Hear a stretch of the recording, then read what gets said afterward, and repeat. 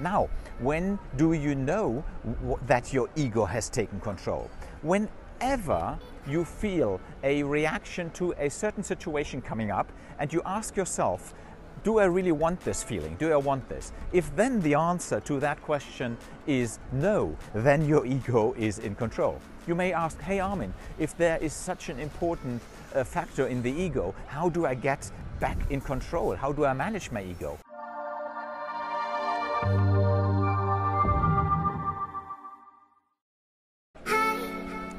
As an entrepreneur, to some extent, your business will always depend on you and your personality. Sometimes that may get to you and affect you in ways you cannot predict.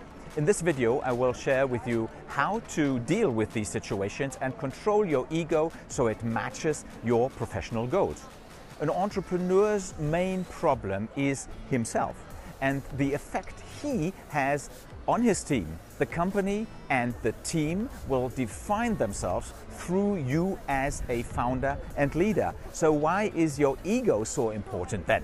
First of all, your ego is responsible for your initial reactions to any situations. It can go into fighting mode when feeling attacked or criticized. It is very strong and can harm relationships and create a lot of energy for you and your team.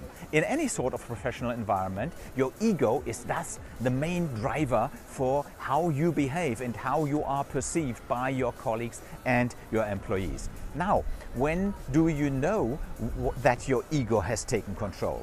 Whenever you feel a reaction to a certain situation coming up and you ask yourself, do I really want this feeling? Do I want this? If then the answer to that question is no, then your ego is in control. You may ask, hey Armin, if there is such an important uh, factor in the ego, how do I get back in control? How do I manage my ego? The answer is quite simple when you think about it, yet it takes some time to implement uh, it in real life. Don't try to fight the feelings that come up, try and let them flow. Breathe calmly and limit your communication in these situations, even in meetings. After some time, when your ego has become calmer, analyze the situation. Why did you feel like this? What is the underlying scheme?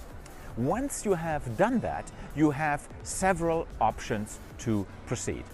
The first one is to better handle similar situations in the future by putting things into perspective. This can be done, for example, by asking yourself, what difference will this reaction, this situation, this feeling for me actually make in my life in one year's time? Mostly the answer is none.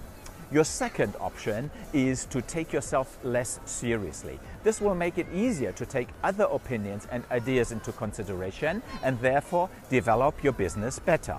And your third option, if you feel like there is no way you can get your ego under control, uh, is to avoid the situation altogether. This is rather a last resort as you are expected to be able to deal with all aspects of your business as its leader. But with the right mindset and willingness to overcome your ego in certain situations, you can not only develop on a personal but also on a professional level.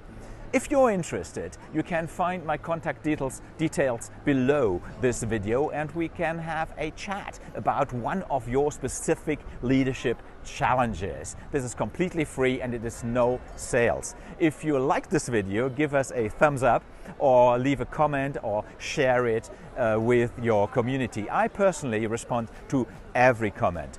Thanks for watching. This was Armin Rau from A. Leonard Rau, the Entrepreneur's Entrepreneur. And don't forget, lead yourself.